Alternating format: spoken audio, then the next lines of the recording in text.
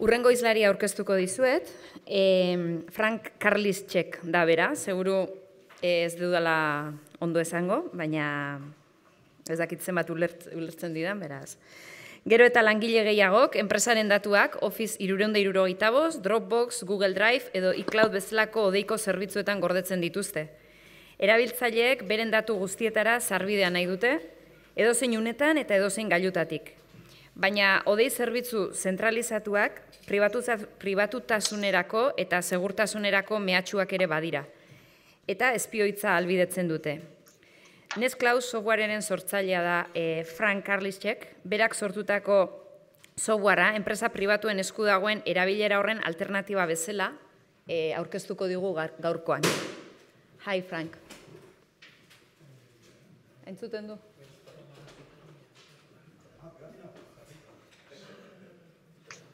Ah.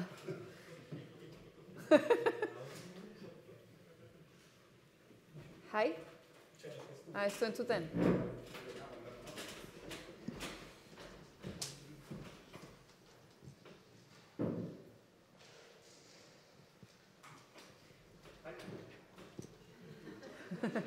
Oh? You can start.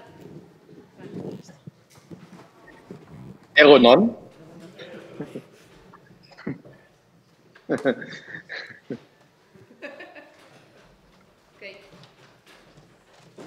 Come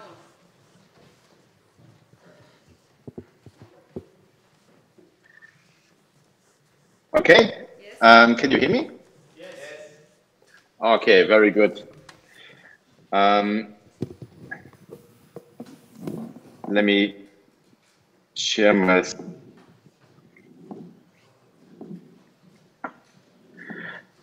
Okay. Um, thanks a lot for the opportunity um, to give the presentation today. Um, I don't know how much you know about me. My name is Frank Karlitschek. I'm from uh, Germany, as you can uh, as you can hear. Uh, I would love to attend your conference, um, but it wasn't possible for scheduling reasons. But hopefully next time I can uh, I can visit you. Um, I'm a computer scientist, um, and I'm an open source developer. I worked in different and started different projects.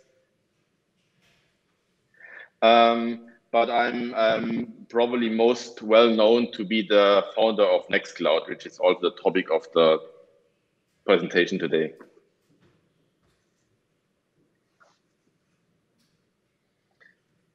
Um, you can hear me clearly. Should I go on? Yes. Okay, okay, great. Very good. So I wanted to talk today about uh, the cloud, um, of cloud and then of Nextcloud, and then hopefully we have time for more uh, for some questions and discussions. So of all, um, the cloud. So some people say on the internet that data is the new oil. So and with that, uh, with with oil, uh, people think that this is the, uh, uh, the the building blocks, the foundation, the source of um, um, a lot of things in our industry. That this is where like our economy is built on the, in the last 100 years. And the theory here is that in the future, data will be that. So we will uh, will all be depend on data instead of um, instead of oil. Um, so I looked up some statistics, um, and it is true that the amount of data in this world is growing a lot. So here you can see how much data used and also stored over the years. And you can really see how fast this is growing. I mean, only only five years ago, it was uh, just a little bit of data, and now it's already so much more. It's growing exponentially. Um, another um, chart is that one here. Uh, where you can see that every 60 seconds we produce 100,000 tweets, 11 million messages, and 170 million emails are sent. 170 million emails every every minute. So this is of data. Um, of course, then you uh, you wonder where this all this data is stored, um, and the answer is in the cloud. Um, that's what you hear. Everything is in the cloud. Um, of course, then the question is, what is the cloud? What does what does cloud mean? Um, so I um, I looked up, I did some research. I looked up where the term cloud comes from, and I think I think it comes from the 90s. So uh, long time ago, 25 years ago, you had this kind of diagrams, this kind of graphics. Um, so this is an this is a company, this is an office where you have your phone and your notebook and your fax machine and your computer, right? And everything is connected with a switch and with cables. But then on the left-hand side, you see this cloud. So um, the cloud here means that there is more, there's more infrastructure, there is more um, computers and cables and hard disks, but it is not part of this diagram. It's out of my control. It's running somewhere else. I don't care. It just works magically. Um, of course, if you look at companies today, then it looks a little bit more like that, um, where you have a huge cloud and only very little infrastructure actually in your office. Because all your devices, all your phones and laptops and everything talks to the cloud all the time. So the all the data is in the cloud, all the applications are in the cloud, everything is in the cloud. Um, and that's of course uh, a bit uh, a bit difficult. This has some problems. So if you really think that data is the new oil, then there's a huge dependency in the cloud. So if we if really data is the new oil, then we all depend on um, the places where the data is stored and controlled. And we all know the places where the oil is produced, right? Like this, the, countries where which are exporting oil, and we all know the conflicts and the wars that were triggered like that. Um, and if you then think that data is the new oil, well, where is the data then stored and produced? So I took uh, a world map and I marked all the places where the cloud is and where the data is stored. Um, this was easy because it looks a bit like that. So uh, basically, all the big cloud companies are actually here. I mean, there's Silicon Valley, of course, um, where you have like Google and Dropbox and Facebook. And a little bit north uh, in Seattle, there's Amazon and Microsoft. But basically, these companies, they control all the data. And uh, we from the Nextcloud commit that this is not very healthy. That this is uh, that everything should be a bit more decentralized. And this is what we try to do with Nextcloud. So Nextcloud can do similar things than the big clouds and can manage your files and calendar and contacts and video calls and emails and chat and everything you know from the big cloud companies. But it has, of course has some differences. So first of all, you can run wherever you want. So Nextcloud, we from Nextcloud, we don't have any servers. We don't run any any infrastructure. So we give you the software so that you can run it wherever you want. So we want to decentralize the internet. So we want to enable, like at home or in a company or university or government, to run their own cloud, their own part of the internet. Um, we don't think it's healthy to have like five companies have being in control of all the data in the world. So Nextcloud runs wherever you want. And the second thing is that Nextcloud is open source. So open source means that you can actually look inside the software. You can check if there are any security problems, if there's anything, um, yeah, any, any, and you can also learn how it works and you can improve it. You can uh, change it and adapt it to your needs. So this is what we try to do with, with Nextcloud. Um, now I want to give you a bit of an overview what Nextcloud can do. Um, I hope it's not too boring. This is a, a bit like product overview, um, but maybe it's interesting for you to see uh, what we can actually what we can actually do. And again, this is something that's open source and for free, and everybody can download it and use it with without any cost. So um, Nextcloud um, has different modules. So there is the file files part. This is the file sync and share. You can upload and download your files. But there's also Nextcloud Talk. This is for chatting and video conferencing.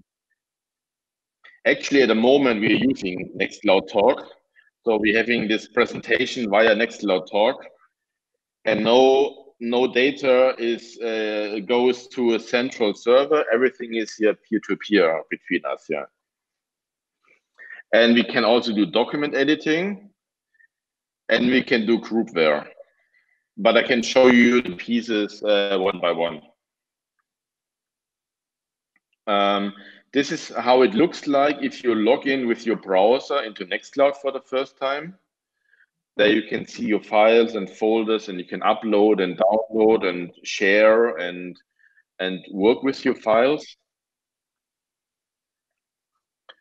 Um, you can also, if you have a lot of photos, have this grid view, organize your files and projects, and there are lots of different things you can do uh, with your files. But a lot of users, they never see this web interface because they always use our mobile client. So we have on the left side, there is an Android app. And on the right side, there's an iOS app, an iPad, and on a phone. So you can do all the features all on a phone. You don't need to use the web interface if you don't want to. And you can also get push notifications if something interesting happens, if someone wants to talk with me or if someone wants to uh, share a file with me or I'm running out of quota or, some, or something else. And there are also clients for the desktop um, for Mac, Windows, and Linux. Um, and you can uh, click on a file and you can say, I want to share the file directly from your desktop. So you never have to go, you never have to go to the web interface if you don't want to. You can do everything on your on your laptop and your phone. If you upload a lot of photos, then there's automatically a photo gallery generated.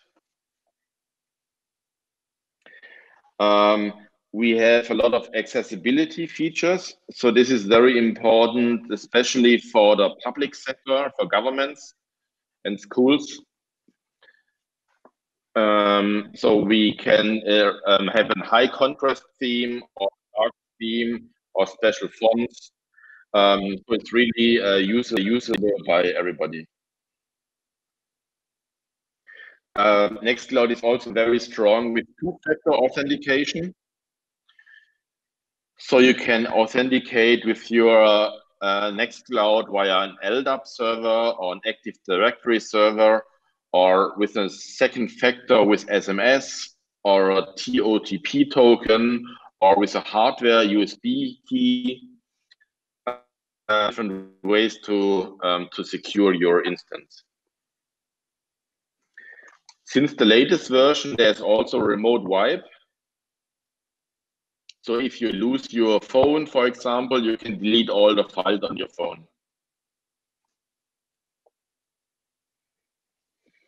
There is a way uh, to detect suspicious logins. So we have a machine learning feature built in. It's a neural network. And for example, if someone logs in in the middle of the night from China, then this is detected as something that's not normal and you can get a warning and automatically lock the account if you want. There's also a feature called data access engine. Um, if you have other places in your organization where your files are stored, like on a Windows server or in SharePoint or an FTP server or some other places, you can all mount this into your Nextcloud as subfolders, as subdirectories. So you can access all your files from inside Nextcloud. You can also have access control lists. So you can define the permissions on sub sub subfolders um, based on groups and, and usernames and other things. There's also an option to do full text search. So you can find all the um, terms and the names and the words inside PDF file and Word file and Excel files and so on. So it can index all your files that are stored in your Nextcloud. Another very interesting feature for us is federation, because I mentioned before that we want to decentralize the internet. So because of that, there are many, many, many Nextcloud servers. So someone might run Nextcloud at home on a Raspberry Pi or in your company or at your university or your government, or maybe you get Nextcloud from a service provider um, but we can all share files with each other. We can all have a shared folder. Doesn't matter who, which user is on which server. So this is a bit like email. Just imagine you have an email address from your company, an email address from your university, maybe you have a private email address from a provider, or you run your own email server if you want, but we can all send each other emails right? And there is no need for central server. There is no central email server on the in this world. And also email is not owned by a company. So because of that, it's actually possible to work together with email all over the world, completely um, decentralized and federated. And for us, it's exactly the same. We make it possible that you sync and share files with people on other servers. And there is no need for a central server and no one really owns the system. It's completely distributed.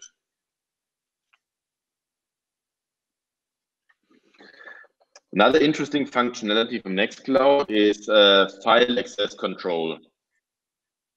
So this means that an administrator can define rules. So you can say that a user in the marketing group is not allowed to share an Excel file that is tagged with secret, uh, secret um, and over 10 megabytes big to an IP address um, in Australia or something. So you can define this kind of rules so that you can uh, implement some uh, policies and some um, security requirements. Um, Nextcloud also supports end-to-end -end encryption.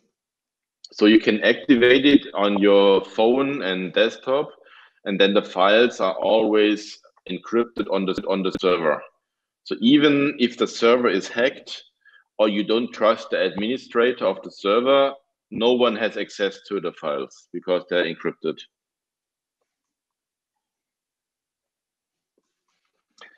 Then Nextcloud is also very good for scalability. So you can run Nextcloud from very small to very big. You can run it on a Raspberry Pi at home for five users if you want. Or you run it for your um, company or your university as a Linux cluster. So just a group of Linux servers together as a cluster. Um, but it's also possible to run it even bigger. So the biggest service um, that a customer of us is using has 20 million users. And for that, we have the global scale infrastructure, which has it distributed over different continents.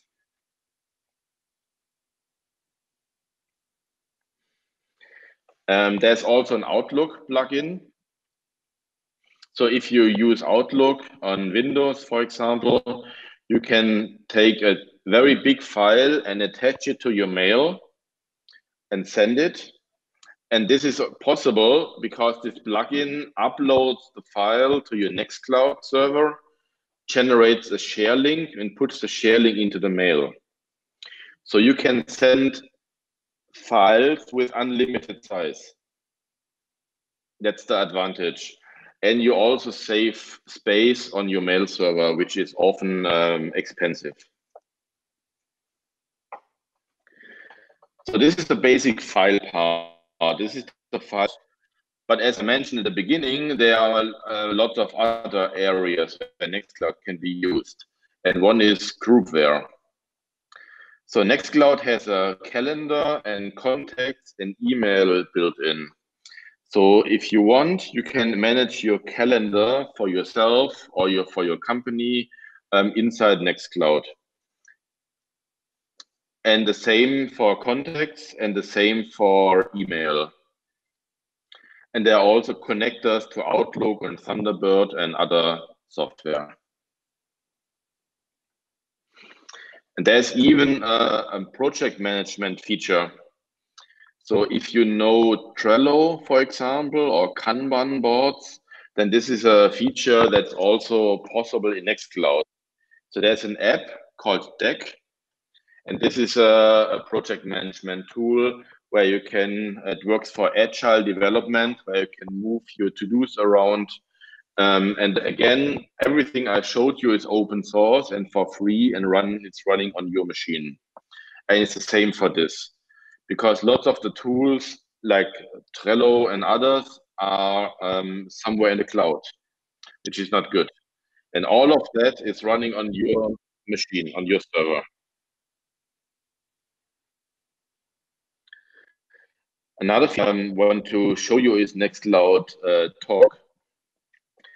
This is an alternative to Zoom and Skype for Business, WebEx, Microsoft Teams, Slack, and all the other solutions. Um, it can do audio and video calls, and it can also do chatting. So if you go into the uh, into the interface, it looks like that. You have your chat conversations, your rooms on the left side. And this can be one-on-one conversations. And then if you go to a room, then you see the, the history, uh, the, the chat uh, history in the in the middle. And you can also do this on a phone. So here in the screenshot, you can also see uh, an iOS uh, app and there's also an Android app. So you can do also all the chatting and everything on your phone and you get push notifications and if there's a new message you get a notification and you can really chat. In the same way you chat with whatsapp and signal and and telegram and all the others. But this is all running on your server. So this is all open source and this is all running on your infrastructure on your server No, no chat messages, no conversations, nothing is stored in a centralized cloud. This is all uh, distributed in peer-to-peer. You can also um, um, put files into your chat channel. You can share files into a channel and then everybody can have a look at the file and work on it together. And of course, you can have a video call, um, as we do here at the moment. Um, and you can do this with several people, and you can also do it on your phone and on your tablet if you want. And you can do screen sharing. This is actually what I'm doing here at the moment to show you the slides. I hope it I hope it works fine for you.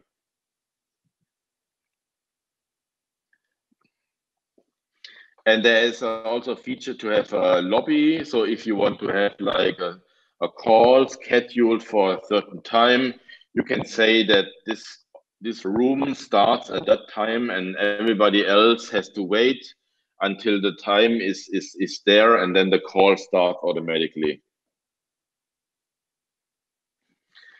And you can also do this chatting and video calling in a sidebar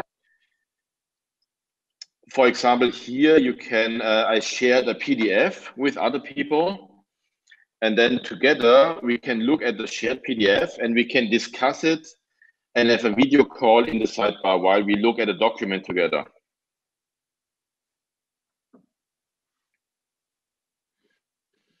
Um, nice feature I want to show you is Nextcloud Text. This is a markdown editor um, for notes. So this is super simple uh, and useful if you want to, for example, write down notes for a meeting. You can here um, have a headline and a, and a, and a bullet list and a, and, a to-do list and adding a picture and so on. So this is all um, like for simple notes. And if you leave the editor, it's all stored in a simple text file in a markdown file so this is no complicated office suite. This is just for simple documents. But a nice feature is that you can also invite other people.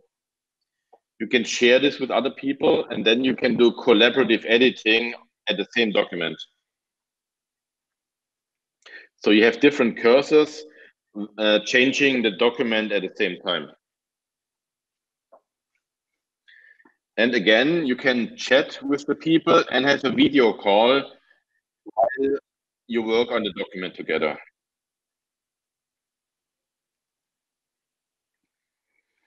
But as I mentioned, this is only for simple documents. Of course, it's also useful to have something um, for real Office documents, like for Word files and Excel files and PowerPoints. And there's also a functionality for that. This is, for example, an editor where you can work on, on Word files, um, like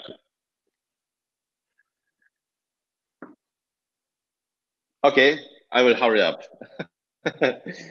um, so there you can uh, they can work on Office documents together. Again, you can do this collaboratively together with others.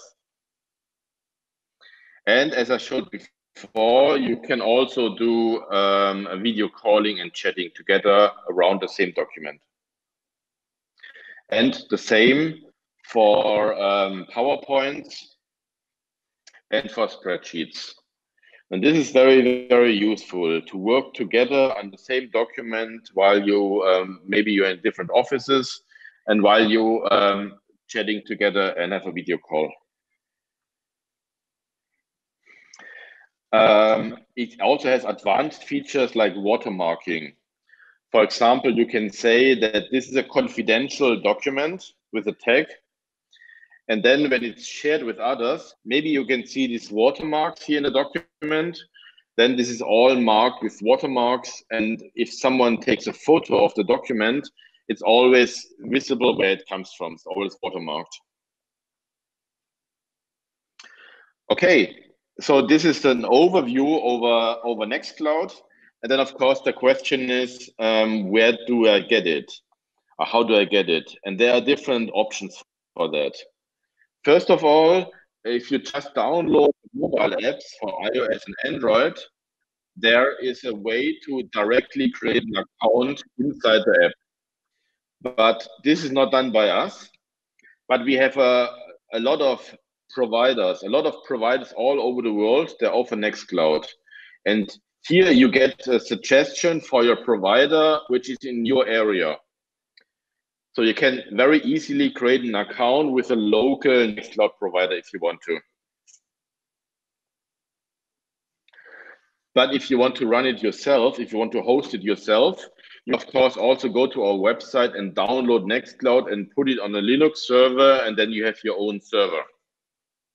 Then you have your own Nextcloud.